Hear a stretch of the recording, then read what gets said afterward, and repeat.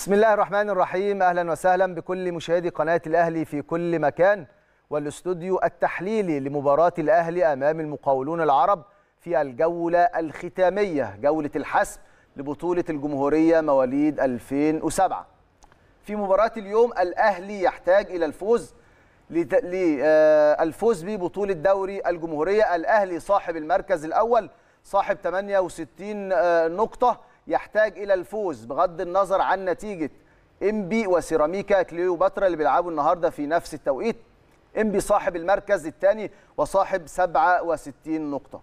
كل التوفيق للاعبي النادي الأهلي في مباراة اليوم مباراة مهمة ومرتقبة يتوج فيها إن شاء الله بإذن الله فريق 2007 ببطولة الجمهورية. خلوني في بداية الاستوديو التحليلي أرحب بضيوفي ضيوف الاستوديو التحليلي استاد الاشبال نجم الأهلي السابق كابتن عادل طعيمة. نورنا كابتن عادل وكل سنة وحضرتك طيب. كل سنة وانت طيب والسادة المشاهدين وجمهور النادي الأهلي في كل مكان بخير وسعادة وعيد سعيد عليكم إن شاء الله. أيضا محلل قناة الأهلي الدكتور أحمد ثابت. كل سنة وانت طيب يا دكتور أحمد. حضرتك طيب يا كابتن أسامة. كل سنة وحضرتك طيب وكل سنة والشعب المصري كله بخير. وتحياتي لحضرتك وتحياتي الكابتن عادل. خلونا قبل ما نروح لمباراة اليوم مباراة الأهلي أمام المقاولون العرب ودي مباراة مهمة. وبالمناسبة أول مرة نذيع لفريق 2007 مباراة على قناة الأهلي على الهواء مباشرة. زعنا قبل كده لفرق أعمار سنية مختلفة 2003 و2005 و2006 من قبل ولكن النهارده إن شاء الله 2007 أول مباراة هتذاع ليهم على قناة النادي الأهلي فريق ممتلئ بالمواهب. كل التوفيق ليهم. خلونا نتكلم عن مباراة الأهلي والزمالك مباراة القمة القادمة يوم الاثنين القادم. تردد ان طاقم التحكيم. وخلينا قبل ما أروح لطاقم التحكيم لما بنتكلم عن مباراة الأهلي والزمالك هي عنوان الكرة المصرية.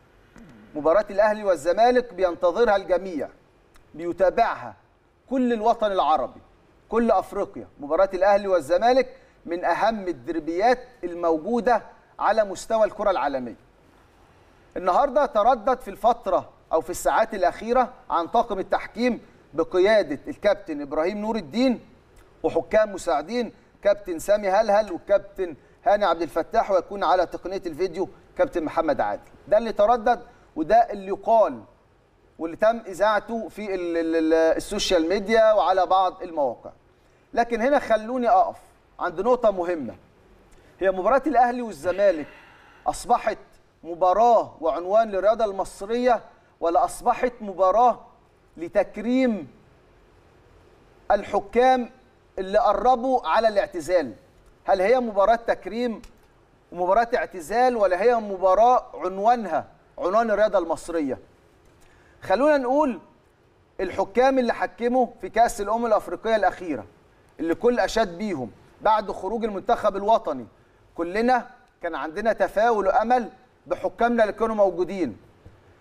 كابتن محمد عادل كابتن محمود البنا كابتن محمد معروف كابتن أمين عمر كابتن محمود عاشور اللي كان على تقنية الفيديو والكابتن محمود ابو الرجال وكابتن أحمد حسام طه كانوا حكام مساعدين. فين الناس دي؟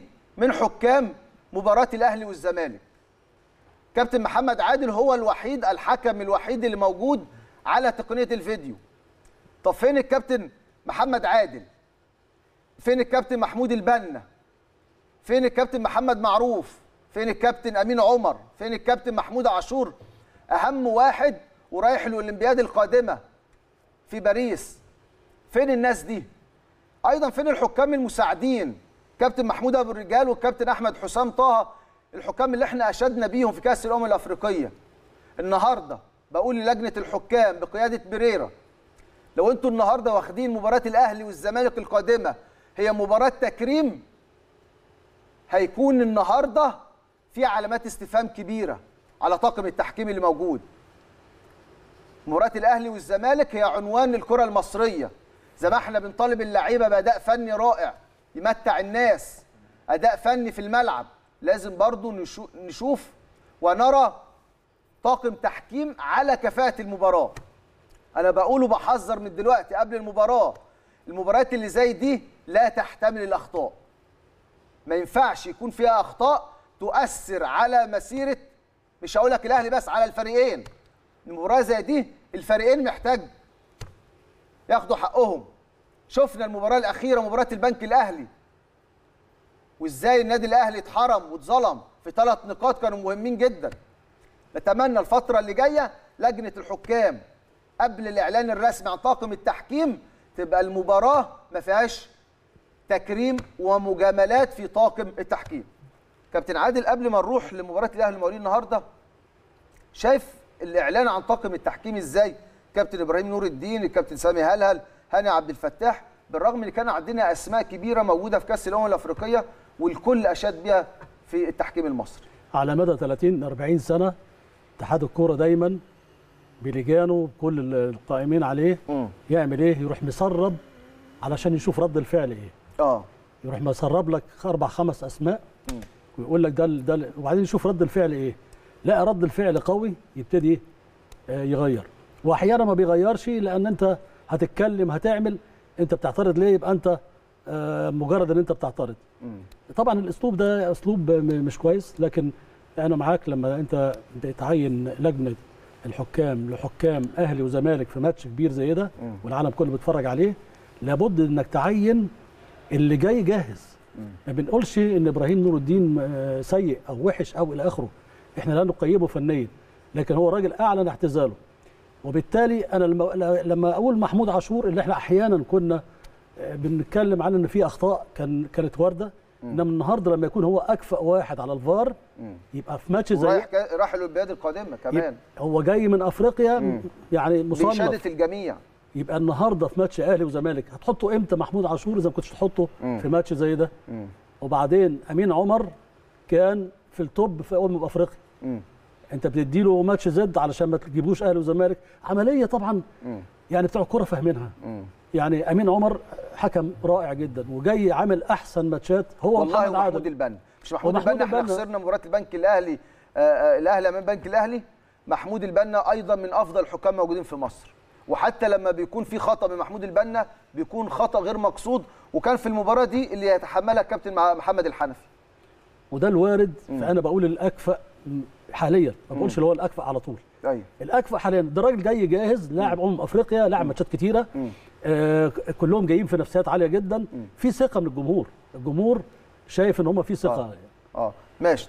دكتور أحمد أسمع رأيك برضو قبل ما نروح لزميلنا فاروق صلاح. لأرض الملعب عشان نشوف آخر استعدادات الفريقين. رأيك في تعيين طاقم التحكيم بقيادة الكابتن إبراهيم نور الدين في مباراة الأهلي أنا والزمالك؟ شايف إن لو صح فعلا تم تعيين الكابتن إبراهيم نور الدين ده هيبقى تهريج. مم. تهريج رسمي من اتحاد الكورة. ليه؟ اولا مباراة أهلي وزمالك لازم حكم أجنبي. هي دي مش ماتش تحصيل حاصل. آه. ده ماتش ده النادي الأهلي عايز ياخد الدوري ونادي الزمالك برضه عايز يرجع على المنافسة فده لسه في بداية موسم.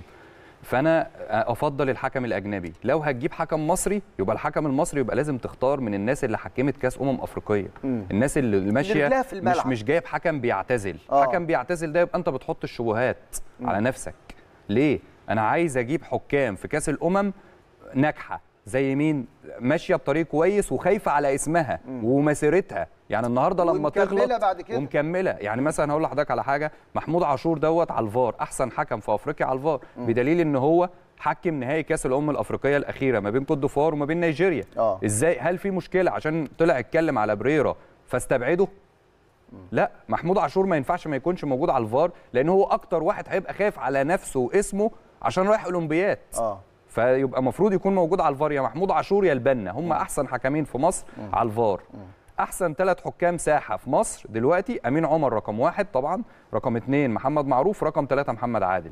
عدم تواجد واحد من الثلاثه حتى لو حكم ماتش الأهلي وزد. إيه المشكلة اما يحكم ماتشين ورا بعض؟ هو أنت حتى لو كده لو أنت عارف كده طب أنت جبته ليه في ماتش الأهلي وزد. الحاجة الثانية كمان الحكام المساعدين. يعني الحكام المساعدين اللي كابتن هم محمود أبو- أبو الرجال كابتن أحمد حسام طه على فكرة حكام الأمم. حكام كويسين آه. حكام كويسين بس اللي هم لا ال- الحكام التانيين اللي هو سامي- هلهل هلهل وهاني عبد الفتاح. دول اللي هيتم الإعلان عنهم آه. دول كويسين بس أنا برضو ليه أحط ليه ما أحطش حكام حكمت كأس الأمم كأس الأمم يعني أحمد حسام طه ومحمود ابو الرجال أحسن اتنين حكام مساعدين في مصر مم. فأنا إزاي إزاي م- ليه ليه اعمل يعني ليه أعمل مشاكل ليه طيب خلونا بعد نهاية الاستوديو إن شاء الله نتكلم عن مباراه الأهلي والزمالك باستفاضة لكن خلينا نروح لأرض ال- ال- الملعب آه، ولقاء اليوم اللقاء المهم بين الأهلي والمقاولين وناخد زميلنا فاروق آه، صلاح عشان نشوف آخر استعدادات ال- الفريقين آه، قبل لقاء اليوم. تحياتي ليك يا فاروق. تحيات الكابتن عادل طعيمة ودكتور أحمد ثابت. اتفضل. برحب بيك كابتننا الكبير كابتن أسامة حسني. كل سنة وأنت طيب يا كابتن أسامة وبرحب طبعا بضيوفك الكرام. كابتن مصر الكابتن عادل طعيمة والدكتور أحمد ثابت. كل سنة وأنتم طيبين كل سنة والأمة الإسلامية والشعب المصري بخير يا رب والشعب العربي. طبعا يا كابتن أسامة إن شاء الله النهارده استكمالا للعيد النهارده فريق النادي الأهلي مواليد 2007 يحقق لنا بقى العيد وفرحة العيد وهدية العيد وهي بطولة الجمهورية. النادي الأهلي النهارده في المباراه الختامية والأخيرة لبطولة الجمهورية مواليد 2007 النادي الأهلي الملك المتوج على عرش البطولة للموسمين الماضيين عايز يحقق البطولة للعام الثالث إن شاء الله على التوالي. طبعا بيقوده جهاز فني بقياده المدير الفني كابتن أسامة زكي ويعني الكابتن أسامة زكي هو المدير الفني الوحيد في على مستوى قطاعات الناشئين اللي محقق البطولة الموسمين الماضيين والنهاردة إن شاء الله يحقق البطولة الثالثه واحد من الأسماء والمديرين الفنيين اللي عاملين طفرة وعاملين شغل كبير جدا مع فريق النادي الأهلي مواليد 2007 خليني أقول لك إن النهارده الفريق عقد محاضرة مع الكابتن أسامة طبعا في حضور الكابتن بدر رجب. بالأمس كان الكابتن بدر كابتن محمد شوقي كابتن وليد سليمان اجتمعوا مع اللاعبين بيحفزوا اللاعبين من أجل هذه المباراة. يعني في قبل التدريب الأخير اللي خاضه لاعبي النادي الأهلي زي ما قلت لك حرص الكابتن وليد سليمان رئيس قطاع الناشئين الكابتن بدر رجب الكابتن محمد شوقي على الاجتماع مع اللاعبين بيفهموهم أهمية هذه المباراة وأهمية البطولة. طبعا الكابتن أسامة زكي منذ دقائق أعلن تشكيل لفريق النادي الأهلي هذه المباراة اللي بيمثله في حراسة المرمى إياد تامر قدامه اثنين مساكين. حمزة الدجوي وده لاعب مواليد 2008 يا كابتن أسامة وزياد دوائل. على يمينهم محمد عاطف وعلى شمالهم مهند الشامي ومهند الشامي أيضا لاعب مواليد 2008 في نص الملعب بيلعب الكابتن أسامة بثلاث لاعبين محمد رأفت وحازم عاشور وزيدان ناجح. قدامهم مثلث هجومي مكون من ياسين عاطف أحمد الشيخ ومحمد هيثم. طاقم تحكيم النهارده من منطقة الإسكندرية بقيادة أحمد عبد الله حكم الساحة بيعاون أسامة السيد ومحمد سعد والحكم الرابع كريم يسري. على الجانب الآخر فريق المقاولون العرب اللي أيضا يعني واحد من الفرق اللي عملت بطولة مميزة هذا الموسم وبيحتل المركز الثالث. النادي الأهلي المركز الأول 68 نقطة ام بالمركز الثاني 67 نقطة بينما فريق المقاولون العرب في المركز الثالث برصيد 58 نقطة بيقوده جهاز فني بقيادة الكابتن أحمد سعيد والكابتن رامي سعيد. دخل اللقاء بتشكيل مكون من 4 3 3 بيمثلوا في حراسة المرمى مصطفى سامي قدامه الرباعي أحمد الهلالي وأدهم أحمد ويوسف أحمد ومازن درويش. في نص الملعب مثلث مكون من أحمد خالد ومحمد السيد وعمر ثروت قدامهم محمد عبد الله ويحيى السيد ويوسف صابر. طبعا متواجد رئيس قطاع الناشئين في نادي المقاولون العرب الكابتن يسري عبد عبد الغني ويعني كافة أفراد قطاع الناشئين في نادي المقاولون. النادي الأهلي بالكامل الكابتن بدر رجب كابتن وليد كابتن محمد شوقي كابتن أحمد ناجي. الجميع النهارده بيلتف حول لعيب النادي الأهلي. أولياء أمور النادي الأهلي مواليد 2007 اللي موجودين النهارده بيعملوا إن شاء الله يعني احتفالية إن شاء الله النهارده لفريق النادي الأهلي. لكن نتمنى التوفيق لفريق النادي الأهلي في هذه المواجهة ويحقق البطولة الثالثة على التوالي. من جديد تعود الكلمة للكابتن أسامة حسني. أنا موجود معاك طبعا يا كابتن أسامة. لو في أي استفسار أو أي تساؤل. بنشكرك. شكرا جزيلا. زميلنا فاروق صلاح وكل سنة وأنت طيب. كابتن عادل من الواضح إن تشكيل الأهلي النهارده يعني زي الدرجة الأولى. 4 3 3 زي الطريقة اللي بيلعب بيها كولر كأن كمان في ربط في عملية ال ال ال توظيف اللاعبين وخطط اللعب.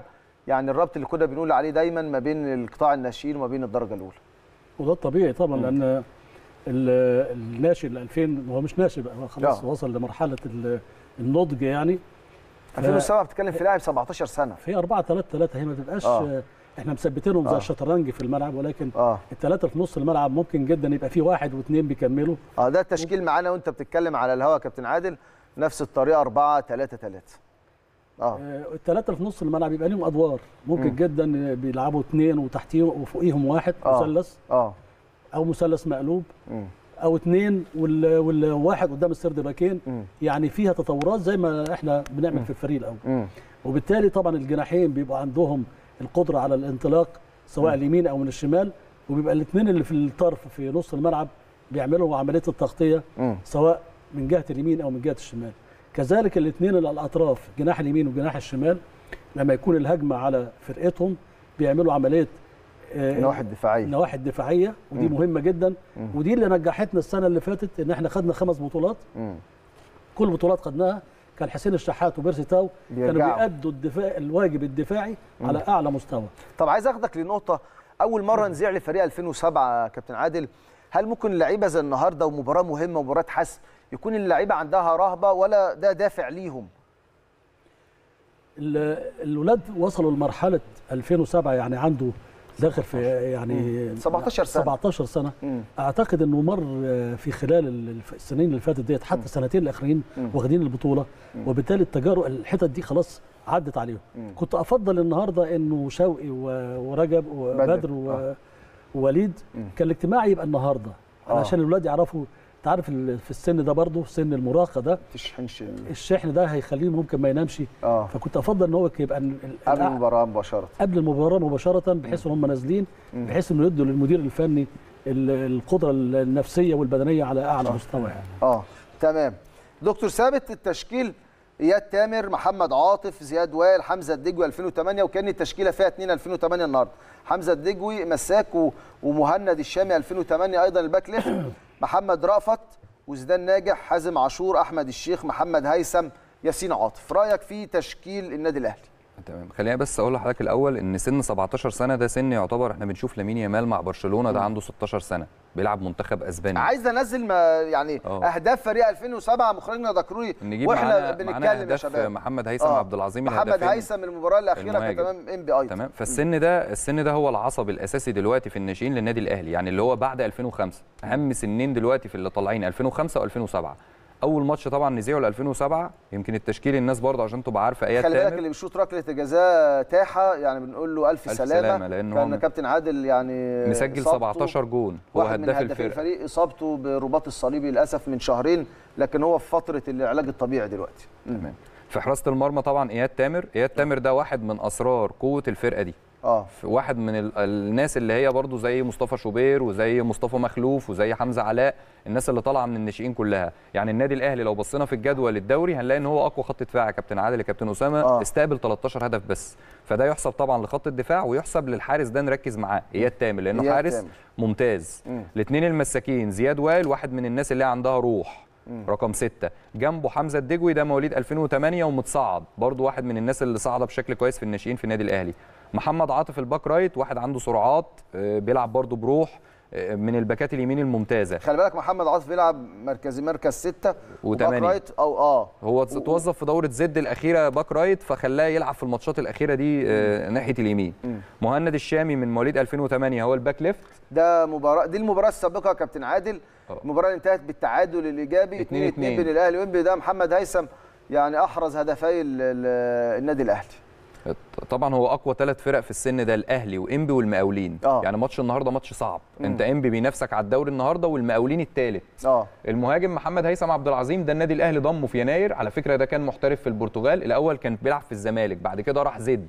آه. بعد زد راح البرتغال في فريق آه. فيتوريا. آه. بعد كده النادي الأهلي جابه في يناير. الهدف ده هدف من الأهداف الحلوة. آه، يعني أوت المهارة بالاستلام وجاب الكرة قدامه. مهاجم كويس جدا مهاجم قوي بدنيا آه، مميز جوه الصندوق. آه. بص هنا الاستلامة المهارة والاستلامة والحطة. محمد هيثم ده واحد من المهاجمين الكويسين اللي النادي الأهلي قدر إن هو يدعم بيه الصفقات في في يناير. بص آه. الاستلامة دي يعني آه. الاستلامة حلوة جدا والحطة. يعني هو كمان جايب جونين في ماتش إنبي. آه. فواضح إن هو من اللعيبة اللي عندها شخصية. أحمد مهمة قوي هنا. اتفضل. الإحساس بالمكان. أيوه. الإحساس بالمكان هو ممكن جدا لو مش عارف الزاوية اللي هو فيها مم. ما مش هيجيبها كده. آه. إنما هو في الحتة دي عارف. إن الجول في الحتة دي. مم. فالإحساس بالمكان ده مهم زي متعب وزي أسامة وزي المجموعة. مهم قوي للمهاجم يبقى دايما عارف ال position اللي واقف فيه. أمال إيه إحساس بالمكان؟ إن بيبقى عنده رادار إنه شايف ال- الجول بال- يعني الزاوية القريبة فين الجول فين كل الحاجات دي بتبقى موهبة. دي مش شغل مدرب. أيوه أيوه.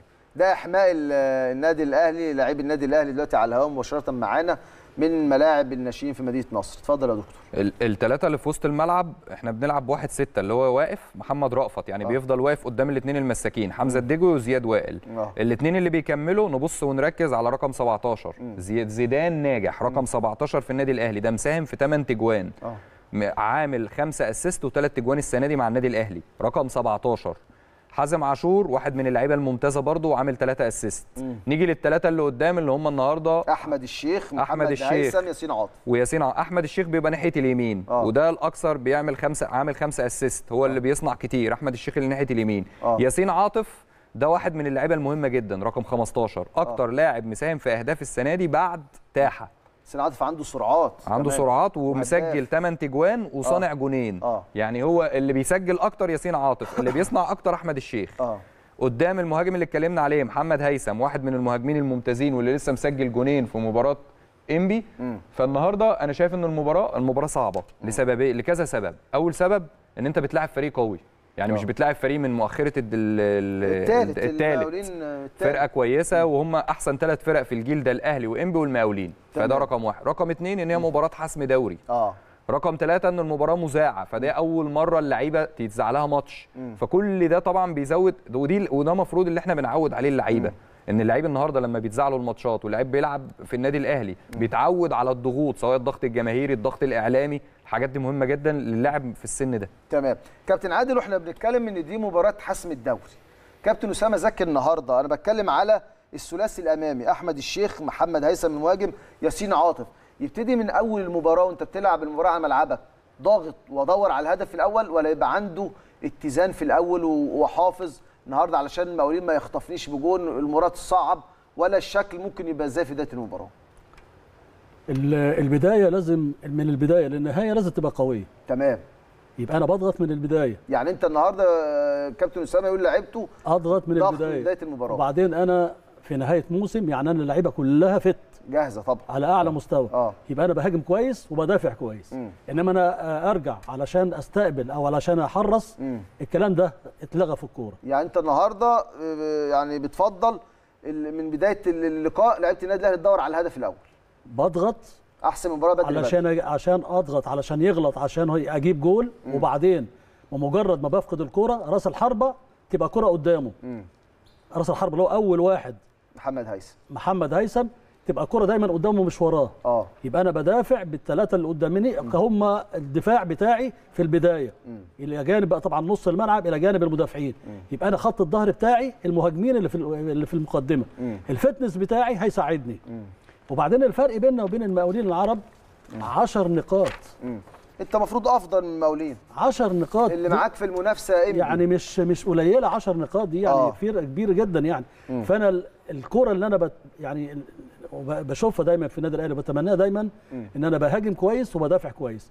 إنما أنا مش هستنى في تلت الملعب علشان هم يبتدوا ينقلوا بالراحة وبعدين واحد من عندي يكسر شوية يبقى يخترق من نص الملعب. لا أنا بدافع وبهاجم الثلاثه بتوعي لازم يكونوا بيأدوا الدور الدفاعي على أعلى مستوى لما بنفقد الكورة. بمجرد إحنا ما بنستلم الكورة الثلاثه عندهم حرية حركة.